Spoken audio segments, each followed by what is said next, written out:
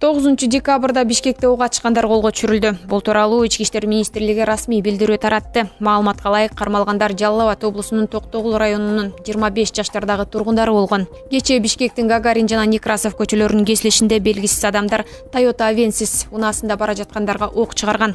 Окуя кылмыштардын жана жоруктардын бирдиктүү реестрине катталып шектүүлөрдү издөө аракеттери жүргөн. Натыйжада коопсуз шаардын камераларындагы тасмалардын жардамы менен ок чыгарган эки шектүү колго түшүрүлгөн алардын жанынан номер өчүрүлгөн макаров үлгүсүндөгү тапанча табылган. Тапанчанын октору болгон эмес учурда тиешелүү экспертизалар дайындалып иш сотко чейинки өндүрүшкө алынган сокулук райондук милициянын башчысы максат чойбековдун катышуусундагы жол кырсыгында жүк ташуучу унаанын айдоочусу каза болду. Бул маалыматты саламаттыкты сактоо министрлигинин маалымат кызматы тастыктады. Белгилүү болгондой улуттук госпиталда оор абалда жаткан жабырлануучу кечээ тогузунчу декабрда каза болгон. Эске салсак жетинчи декабрда бишкек торгарт жолунда сокулук райондук ички иштер башкармалыгынын жетекчиси максат чойбеков өзүнө тиешелүү мерседес бенс автоунаасы менен батыштан чыгышты көздөй бара жатып каршы келе жаткан мерседес спринтер жүк ташуучу унаа менен кагышкан. Натыйжада жүк ташуучу унаанын айдоочусу кант шаардык ооруканасынын жандандыруу бөлүмүндө оор абалда жаткан. Максат чойбеков да аталган ооруканага кайрылып амбулаторлук жардам алган. Учурда бул факты боюнча сотко чейинки өндүрүш иши укмкга жөнөтүлүп максат чойбеков кызматынан четтетилген